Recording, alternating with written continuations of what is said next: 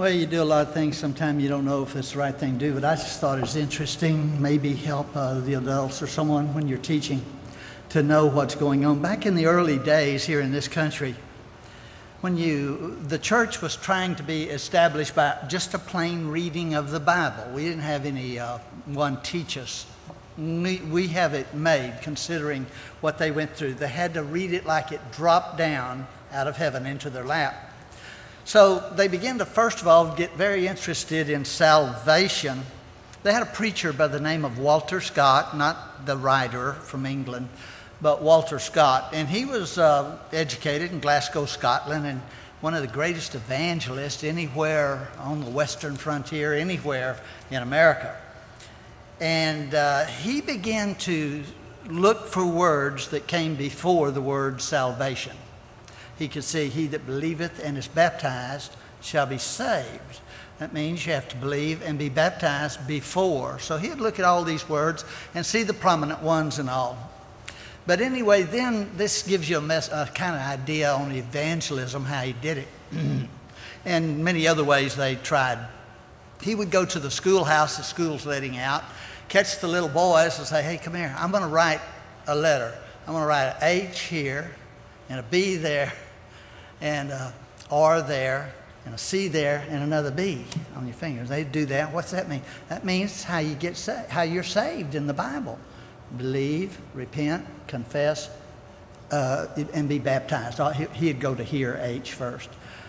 Nevertheless, then he'd say, Now you go home and you show your parents and ask them if they know what that means. And if they do it that way, we have a meeting going on and tell them come down and talk to us. So that's where that would come from.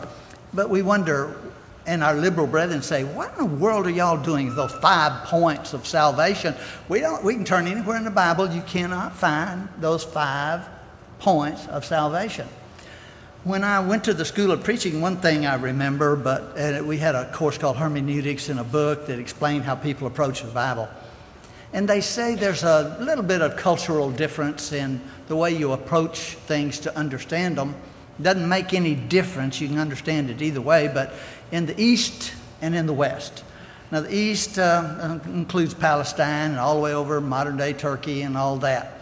The West starts with uh, Greece and goes all the way, you know, through Rome and Spain and finally over to America. And in the East, the way they would approach things was a little different. They didn't have a logical approach. To me, I don't know, this is not logical, but nevertheless, it probably is. But they would look at things, the overall story. And you would pick out of that story and just know what to do from reading the story. And then we come to the West and we have Aristotle, Aristotelian logic, they say, and we want what things one, two, three, four, five. So Walter Scott did it as any good cultural Western person would he ferreted them out of there and put one, two, three, four, five. So that's all there is to that. It's just a different way of thinking, writing, but I have no problem understanding it their way. I can see it there. When I, my dad was reading one time and he said, Jerry, you know, according to this, just reading a story, I need to be baptized to be saved. See, he got it without the one, two, three, four, five.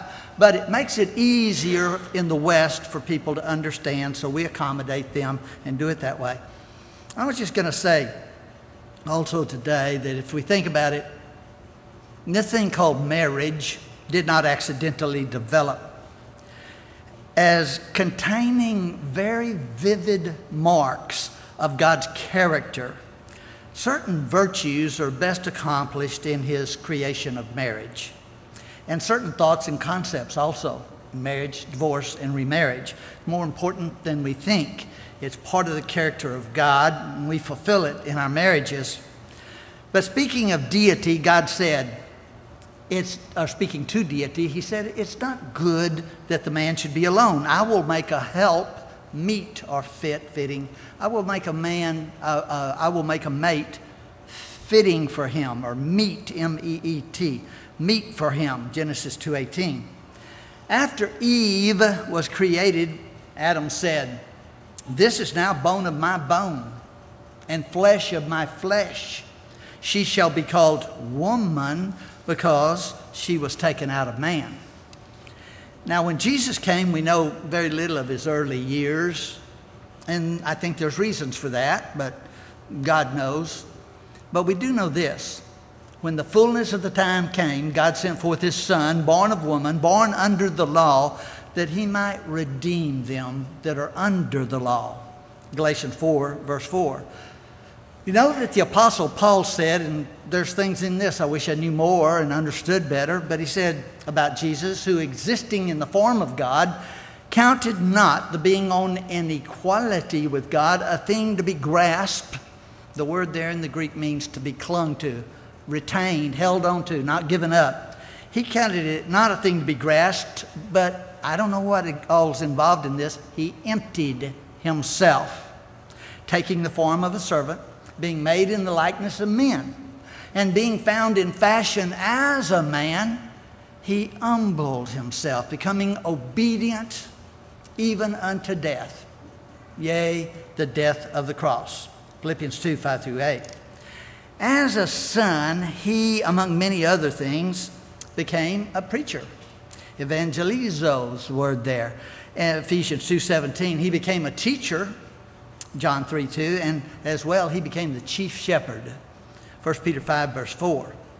Sometimes in the Bible, it'll talk about shepherds, teachers. Shepherds are teachers, that's their big responsibility there teach the flock. But as a preacher and as a teacher, he spoke many things, and I kind of like to maybe sometime dwell on the ones, main ones, almost all of them really, that are against human nature. They're against what we really want to do. But immediately in the Sermon on the Mount, he got down there to something very important and important to us. He said, It hath been said, Whosoever shall put away his wife, let him give her a writing of divorcement. But I say unto you, Whosoever shall put away his wife, saving for the cause of fornication, maketh her an adulteress. And whosoever shall marry her when she's put away, committeth adultery. Pretty much against human nature, isn't it? Matthew 5 31 and 32. What is that? If you put away your wife, you make her an adulteress. And if anyone marries her when she's put away, they commit adultery. Well, that's exactly what it says. And it, so, how is it that he causeth her to be an adulteress? Usually, we say she, in that culture and time, will most likely remarry and commit adultery that way. And so he is the cause of that. We can verify it by that word causeth in the original poel. It means to make, to form, to fashion, produce, also to be the author of. That man is the author of her fornication or her adultery and he's the immediate cause of that. Now, we know everything's in general. Some women would escape that, and, but still, that word can be appoint, uh, translated appointed to, like someone's appointed to death, is someone's appointed to uh, fornication or adultery because of that man that did that. In other words, he's the reason she falls. You don't want to do that. And we're talking I think you know, serious business when we talk about marriage, divorce, and remarriage, and homosexuality, which the world is glossing over and trying to reverse our thinking on all of that that was once biblically based. But, anyway, some may avoid that, and uh, others will not. And so he destines her, though, in general. The person is destined to commit adultery, the woman put away. And Mark shows it goes for the man too. Either one, it doesn't matter. But notice it again. It hath been said, Whosoever shall put away his wife or husband, according to Mark, let him give her a writing of divorcement. But I say unto you, whosoever shall put away his wife, saving for the cause of fornication, maketh her to commit adultery. And whosoever shall marry her that is divorced committeth adultery. Matthew 5, 31 and 32 two things are very clear in Jesus' statement that he got to very early in his ministry and that needed to be said, and if it ever needed it then, it needs it now in our country. And in Jamaica, by the way, we just heard so many times, well, no, I'm not married to him. But he's just not a marrying man, you know. Like that excuses it. And so they're all uh, living in adultery and they don't give up. They, some of them do what's right and come out of it. So there are two things that need to be pointed out. She that's innocently put away is not free to just go out and remarry. And if she does go out and marry another, the one she marries commits adultery. Someone might say, well, so? Well, so, Paul said, Know ye not, the unrighteous shall not inherit the kingdom of God?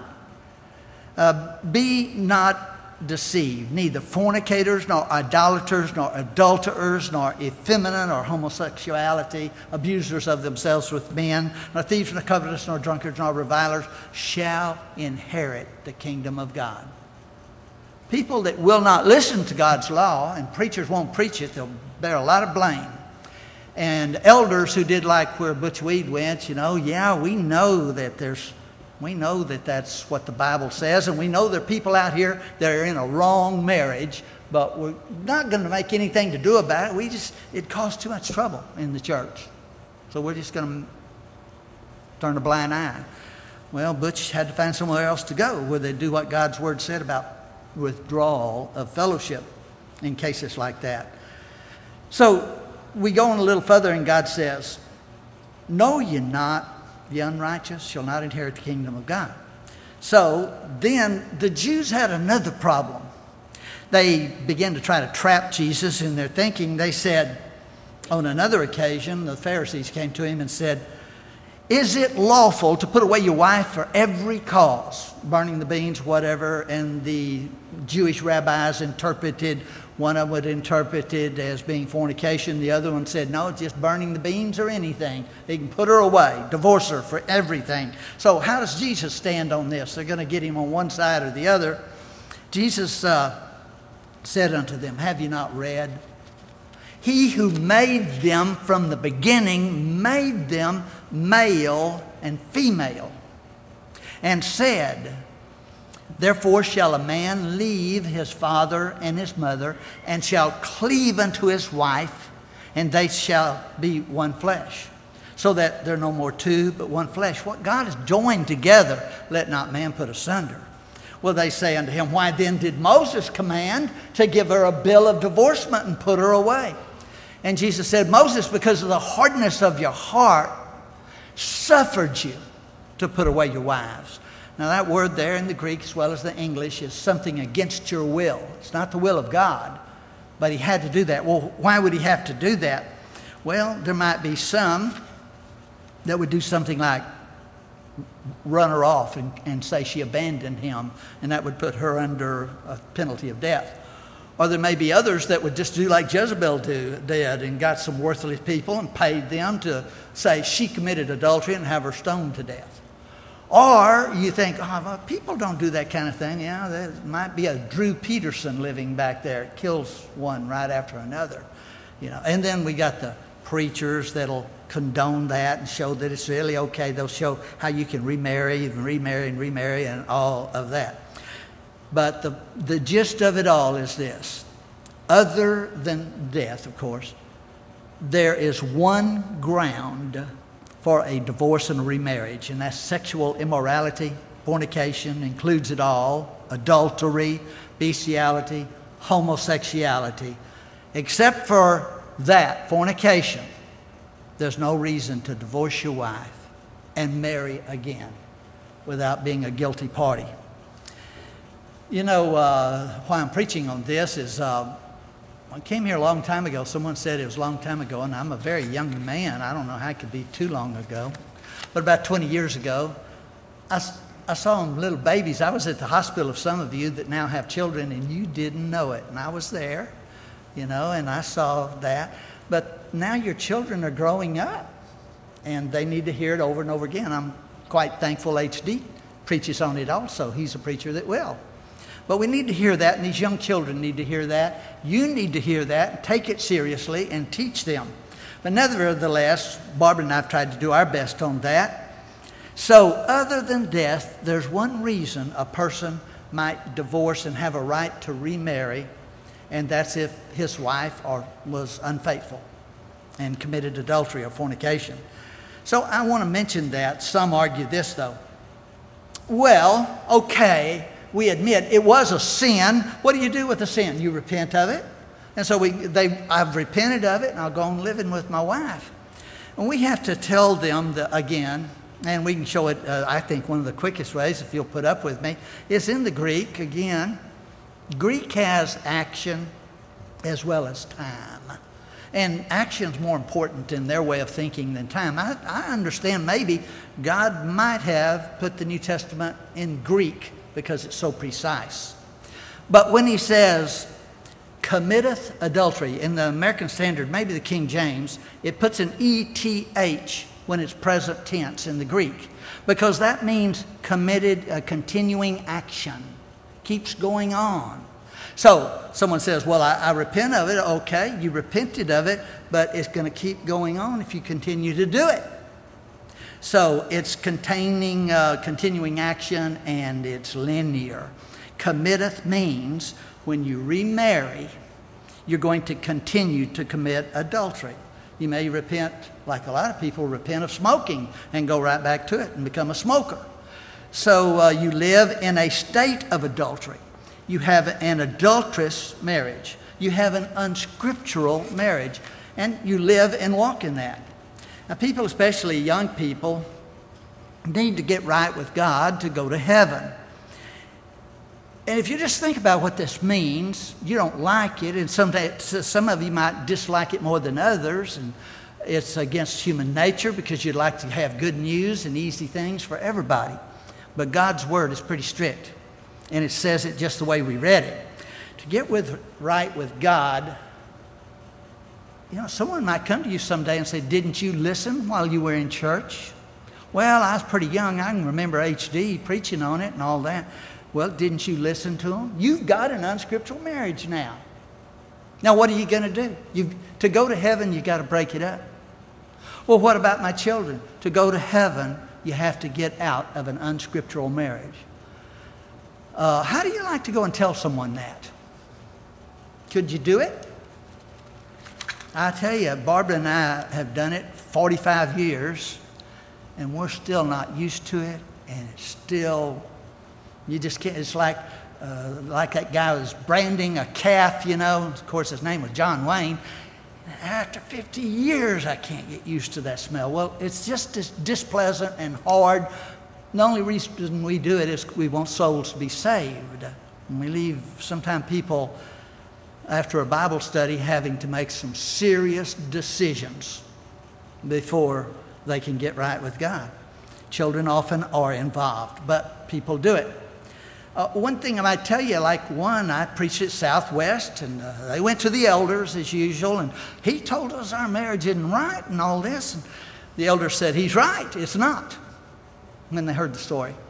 And then finally they said, Go talk to Jerry and Barbara if you want to. And they did the thing is, uh, the, the, the, man said something I just, it's hard to understand, but it's true. Maybe it, I just don't want it to happen to you.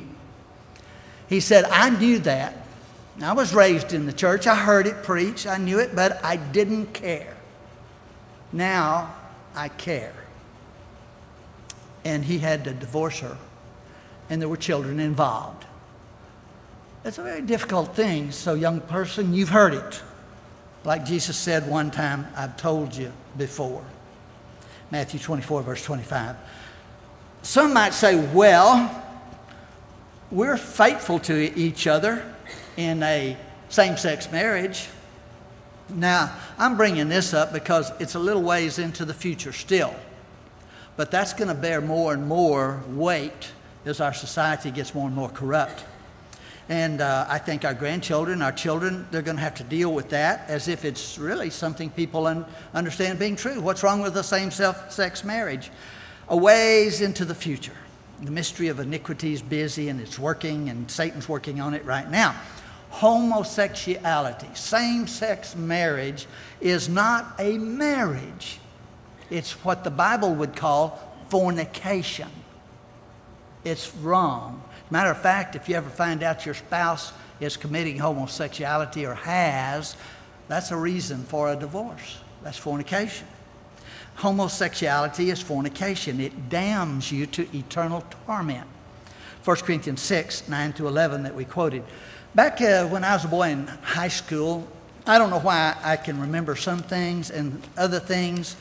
I don't know why I do remember them, but I remember the old TV show in the news I used to enjoy watching. It was 15 minutes, and it was NBC, and it was Huntley Brinkley. And Brinkley had a sense of humor a little bit, and he especially liked a U.S. senator, a Republican, by the name of Everett Dirksen. And I watched this on TV, and he, he just had to play it back for everyone to see, you know. But anyway, they're saying you they, they're saying you did this and that you're such and such and you're supporting such and such. And he said, Let me ask you a question. If you call a, tall, a dog's leg or tail a leg, how many legs does that make a dog had, have?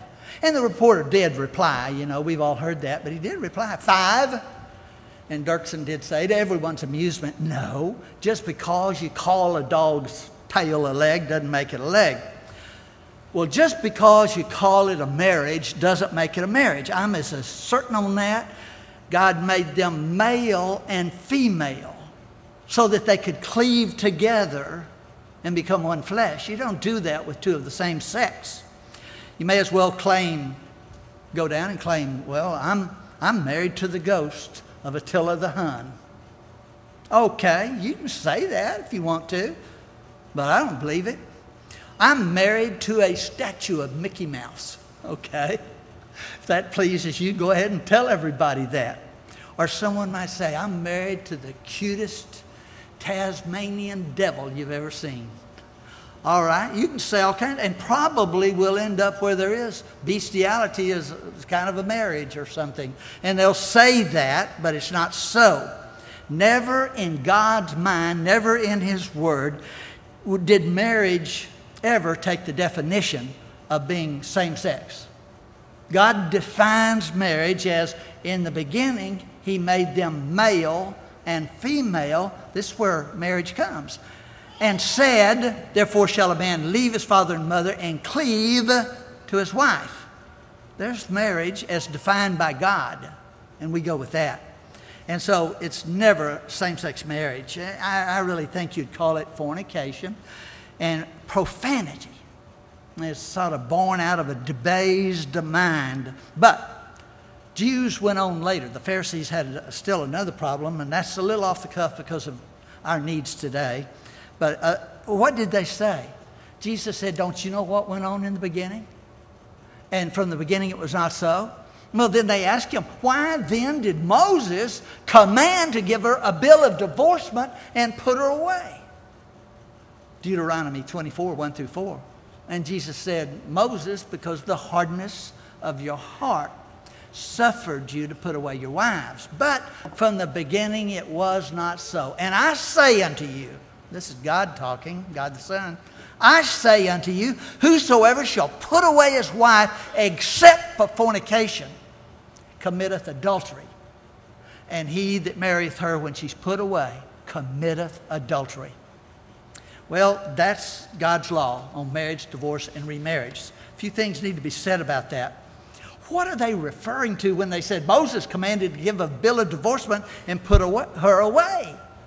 Well, it says in Deuteronomy 24 1 through 4 When a man taketh a wife and marrieth her, then it shall be if he uh, shall find no favor in his eyes because he has found some unclean thing in her, spiritually unclean, thing in her, something unseemly, then he shall write her a bill of divorcement and put it in her hand and send her out of his house.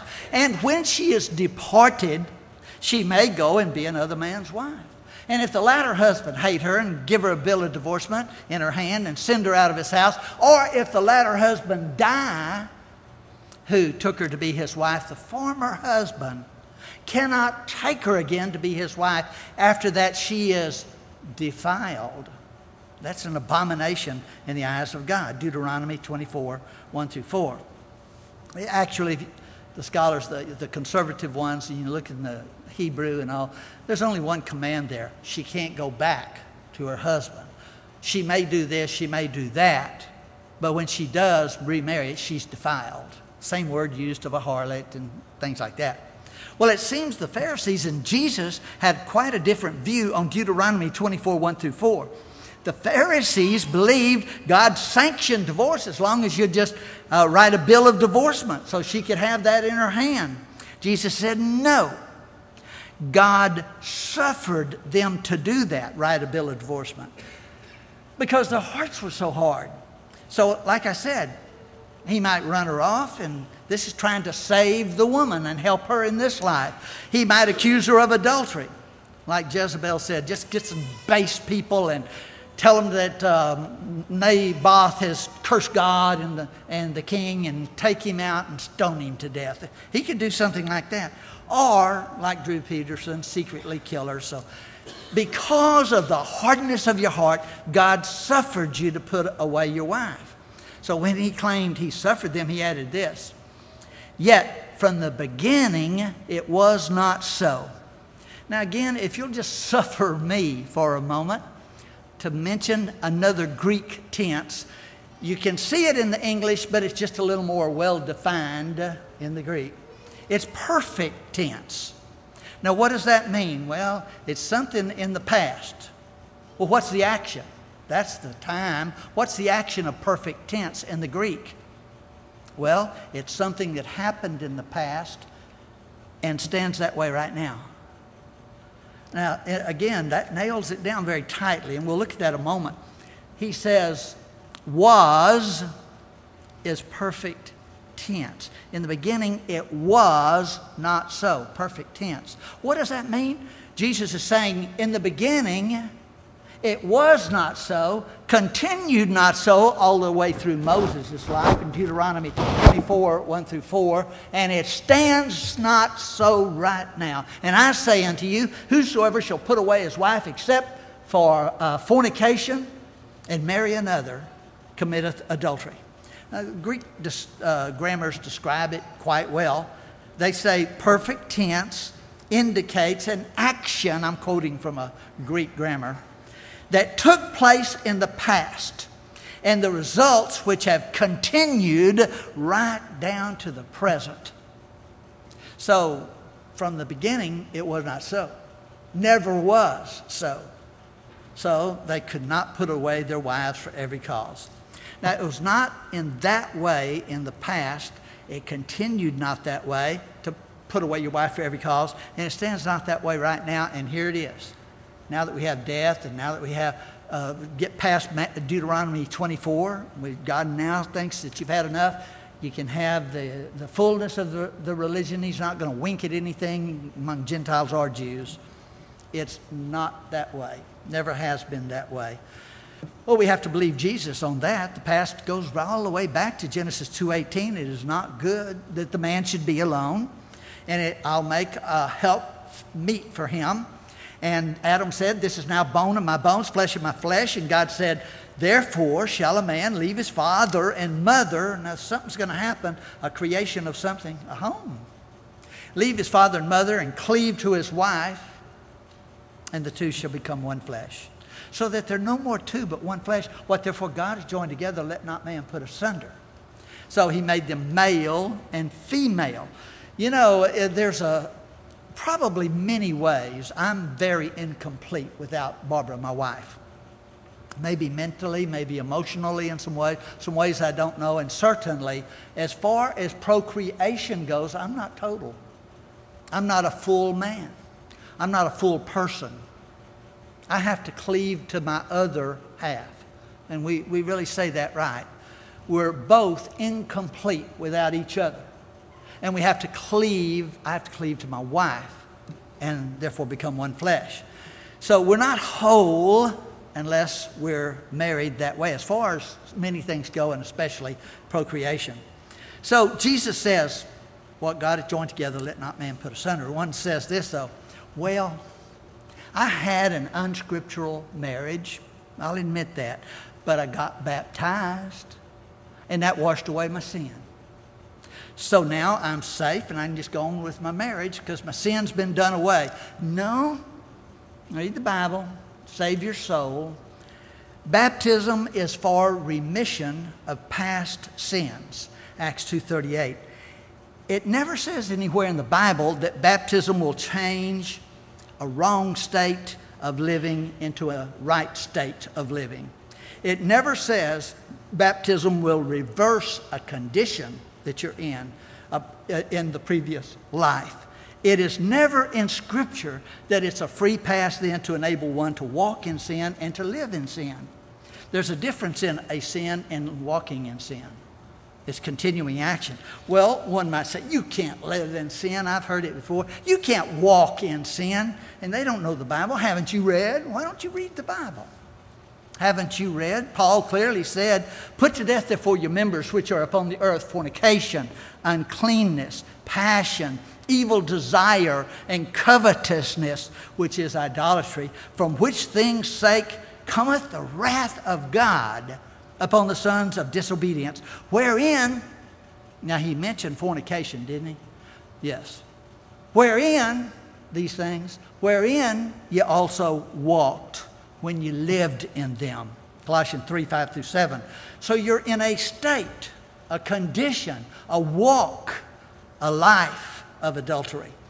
Our old brethren had a good way to present it, and I don't think we'll ever, I don't care what we come up with, I don't think we'll ever beat this illustration. A man, I'll add a little Moffittism to it. It's a dark, stormy night. He goes to another town and he steals a good racehorse and takes it home to his town, his barn, puts it in there. I'll sell it or something later on. But now there was a young lady who wanted him to go to a gospel meeting.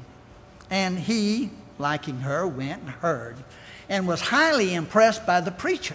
Could have been Joe Blue, Joe Warlick, J.D. Tant, some of the old preachers who used to preach in such a way. You wouldn't be sitting in this church building if it were not for them. Nevertheless, he was moved by it. And he obeyed the gospel and was baptized for remission of sins. So, a little while later, a brother said, You have that horse in your barn. That's stolen. And uh, get, you need to give that back. And he says, I do not. Yes, you need to give it back or you're a thief. And particularly, you're a horse thief. And he says, No, I'm not. My sin was washed away the other night in water baptism. I'm keeping the horse. Well, you had the sin of theft washed away. But when you make the decision to keep the horse, then you start a walk in a state again as a horse thief. You're a thief, you'll remain a thief until you give the horse back. And baptism won't change that and baptism won't change uh, for, uh, an adulterous marriage into a right marriage. It's parallel. It's the same thing. If when you keep the horse, you're a thief. Now, do you give it back? You know, one of my teachers, believe it or not, in the school of preaching, and one of my favorite teachers, took the view, no, that's not so, and he wanted to make things a little easier, I suppose, on himself, not having to preach that. And we students argued with him for what it said in the Bible. Had to. And he said, You want to know the difference in, in this analogy you gave and in what the Bible says? The difference is man's not a horse. You know, I think he meant trivial, something like that. Well, that doesn't answer anything. That doesn't answer one thing. He's still a horse thief, and you're still an adulterer unless you quit what you're doing. You'll remain that way. One more thing that they say since we have another hour, well, I'll do it fast. We're doing better than I thought. There's what some people call the Pauline privilege. Um, it never was mentioned in church history until after the Protestant Reformation, 1500 years after Christ. But Paul's answering questions to the Corinthians, and he says to the wife who has a husband that's not a Christian, a husband who's not a believer, and a wife uh, that has a husband that's not a believer or a husband that has a wife that's not a believer. He says this to him Depart not from her husband, depart not from your wife. How do you know? You might convert them. And over and over, Paul says in 1 Corinthians chapter 7, let him not leave her. Let her not leave her husband. Again, 1 Corinthians 7 12 and 1 Corinthians 7, verse 13. Then in verse 15, he says this Yet if the unbelieving departeth, let him depart. You're not under bondage in such cases. the brother or sister is not under bondage in such cases. Now, it does not say, if you care, it doesn't say you're not under bondage to a marriage law. As a matter of fact, the word that's used there, bondage, is doulos. It's a word that is never used in a marriage context. Doulao means slavery. Slavery. Do y'all, y'all think of your marriage like wife's uh, in slavery to you? She's your slave? It's never used in the marriage context. You know, uh, I did have to have a written debate on this. I tried to get some others to do it, and they couldn't. But James Bales kept insisting that I do a written debate with him on it in Thrust magazine. Nevertheless, I got him to debate some others after I did it. But uh, nevertheless, in doing that, he said, Yeah, well, a, a, woman has to be in subjection to her husband, so Dulao is okay there. She's not a slave. It never says that. And it's never used anywhere in the Bible that way. It's saying, stay together, stay together. Let him not leave her, let her not leave her. But if they depart, let them depart. You're not under bondage to what? To this dictum, to this explanation, or to this saying that I made, to this law that I gave, to this commandment. You're not under bondage to that. Let them go. But not under, it, it doesn't say anything about remarriage. If it's not talking about marriage, then there's no remarriage anyway. So you're not a slave and you can't use that Pauline privilege. Don't men try everything in the world? As a matter of fact, that's a, that's a pretty good indication they don't have a right view when you find, well, here's, a, here's an idea, here's an idea, here's an idea, here's an idea, and none of them seem to satisfy anyone. It's an indication they're not very strong. We have the truth, and we just stop it there.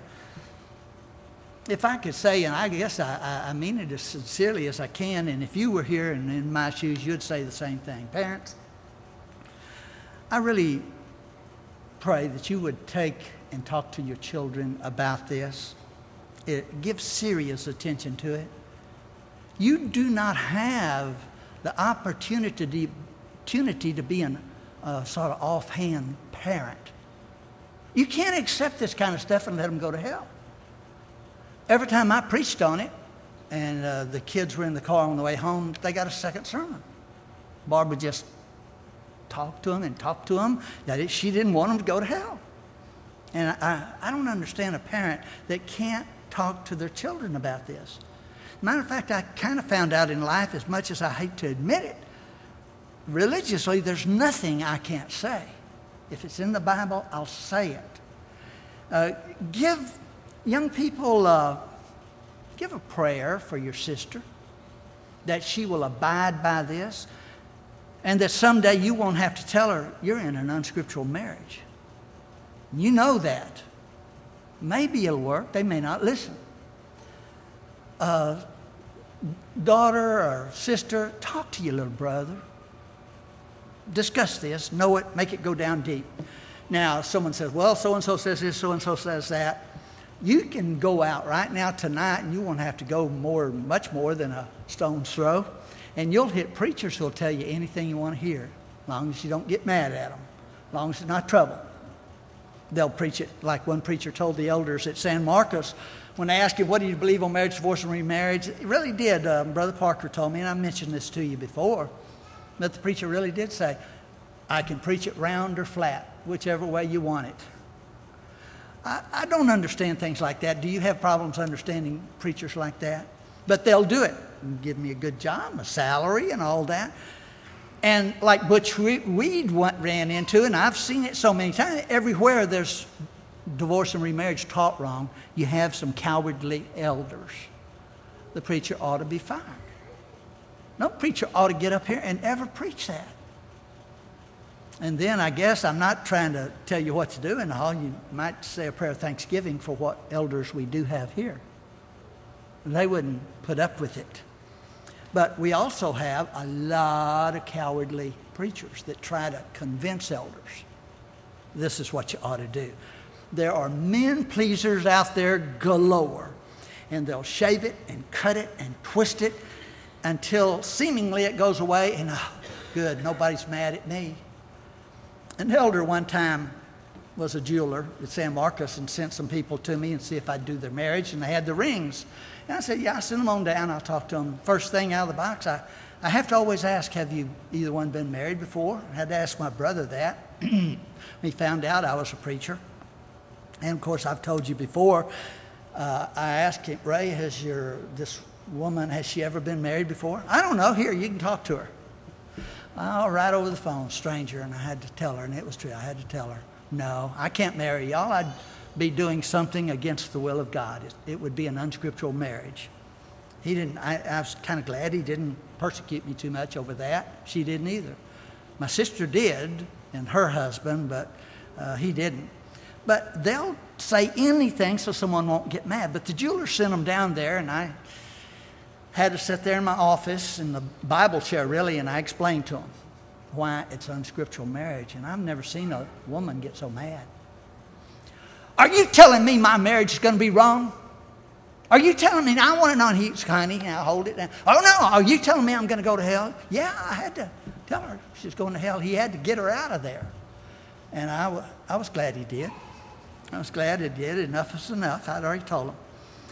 But another one, Paul said in Acts chapter uh, 2, verse 26, or rather 26, verse 2, he said, You know, wherefore I'm free from the blood of all men.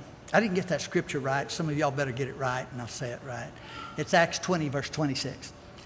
Wherefore I'm free from the blood of all men, for I shrank not to declare unto you the whole counsel of God. Well, HD and I can feel a little bit like that. We don't know of anyone I haven't told it to that I have an opportunity. But uh, there's a lot of shrinkers out there. Uh, that's a pretty good word, Johnny. You had a good one this morning. Why not? Who's Noah Webster to tell me what's a word and what's not? I have as much power and authority as he does. Well, and he's dead. He was in 1831. There's a lot of shrinkers out there. What do you want to count? Sometimes silence is good, sometimes it's just plain cowardly. You need to tell them. Do you know anyone in your family? You got to tell them their soul is going to depend on it, and your soul might depend on what you do about it. Well, there's a lot of ways to lose your soul, and I'm just saying this is one of them. Now, am I seeking to please men or God? If I were still seeking to please men, Paul said, I'd not be a servant of Christ Jesus. That doesn't just go for the preachers, it goes for you. Are you a man pleaser? You going to let your brothers and sisters go to hell and never teach them? Are you going to let your mom and daddy know they're in an unscriptural marriage and that they're wrong? Well, that's the day and the time, and you've got to make up your mind to do it. Before the good confession, you know, Jesus said there's a lot of ways to lose your soul. Uh, we see that in the Bible, but one is just not obey the gospel. You have to believe Jesus is the Christ, the Son of God, after you've heard the gospel. John 8, verse 24, and repent of all your past sins, and they'll be washed away. The sins will. Acts 2.38, they'll be remitted or forgiven. Acts 2.38. Acts 22, verse 16. And then you make that good confession that Jesus is the Christ, the Son of God. That's part of it. You confess that. And if you don't, he'll not confess you before his Father who's in heaven. And finally, it does say, if you want to put them in an uh, order, he that believeth and is baptized shall be saved. So you have to be baptized or you go to hell. Now, we have a problem with that because people like to follow what their parents believed, and some people like to be more theological than biblical, and there's many reasons for it. But which comes first, baptism or salvation? You can make a chart like that, by the way, and it's a good teaching chart. Which comes first? You can do that with several passages in the Bible. He that believeth and is baptized shall be saved. I don't see it that way. Well, okay, what if uh, someone told you, Clint told you, you come down to where I work and bring your birth certificate and I'll give you a new car?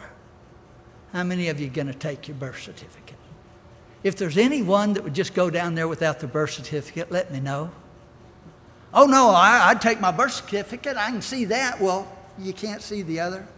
He that believeth and baptized shall be saved. We want to help you any way we can. If there's anyone that wants to discuss any of this, you're certainly uh, encouraged to do that. We want your life right and we want you to go to heaven. And young people, remember the rest of your life. You don't have to do what Barbara did, but she said she's not going to ever marry anyone that's been married. People lie, and I've been lied to and fallen for it big time. And they lie about their marriages. So you have to be very careful. I, I, all I can tell you is you need God's help. Joshua and the elders got in trouble with the Gibeonites. They believed them, ate of their food, and they were supposed to be from a far country, and they found out they're right next door, and they should have killed them all. And what does the Bible say? They ask not counsel of Jehovah. You got to do that in, uh, in your marriage. Barbara and I prayed about it uh, before we got married together, knelt and prayed together. You can do that. Not that we're in a, the example for you, but if we can help y'all in any way, please come.